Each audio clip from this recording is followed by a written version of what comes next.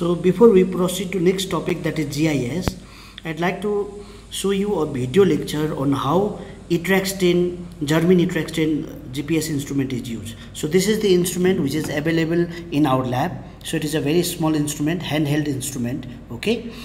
And uh, this is the switch on button uh, right at my index finger. You can see light has been written. So just press that hold that button for a while just for a few seconds. Now it's starting instrument is starting right? Uh, name of the company logo and other things are coming. Then it will guide you to this page icon page. The, these are the icon page right? Now these are up and down buttons over here you can see right? And this is what? This is the joystick okay? So now what you have to do uh, so you have to just uh, scroll up and down. It's going towards compass then trip compass. So move down. As you move this joystick this one okay it will move up and down okay. So it's going down down down. We need to go to the sky page okay. So uh, let me go to the sky page. Uh, okay so, sorry satellite icon. This is the satellite icon i'm talking about right? Now uh, right now if I go up stopwatch. If I go left sun and moon go down on and face and this one satellite. This is required. Just press this this one um, uh, joystick only. Just press it. This page will open. Okay this is our sky page where latitude longitude and other things will be given. So just hold for a while.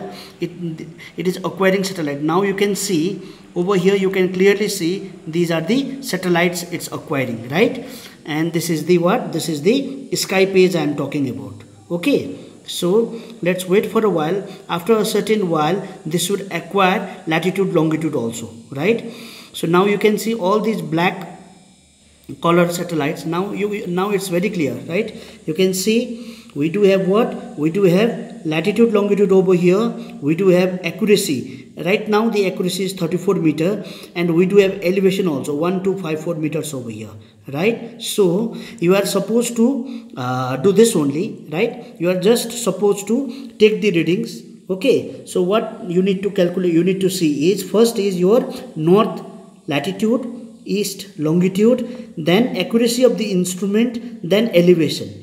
Since i am doing inside the lab geography lab that is the reason why accuracy is 30 meter okay? We need to go outside. I am doing this just for your learning purpose only okay so this is the way you can take readings from the GPS. Let me just repeat it for you. So just switch on the instrument. Light this light button will work. This is the switch on button. Now company logo. This is Garmin. Company logo is coming right. After a while it will guide you towards the icon page. This is the icon page. Now use this. This one is the joystick. Use this stick. Okay. This is known as joystick this is the power source button back button and over here you can see up and down button also okay so use this joystick up down like this okay it will go we need to go to the satellite icon. Okay so uh, yeah this is the satellite icon i was talking about. So this is the sorry.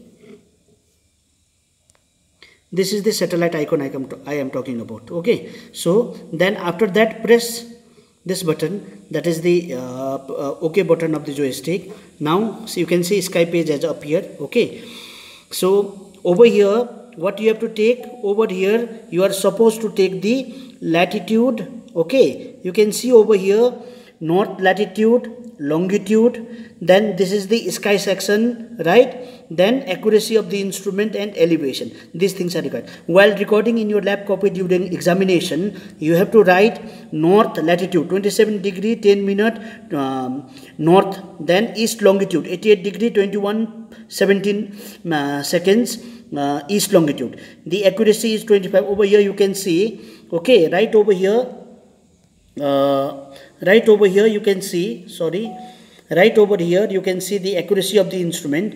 It's 26 meter and elevation is 1284 meter okay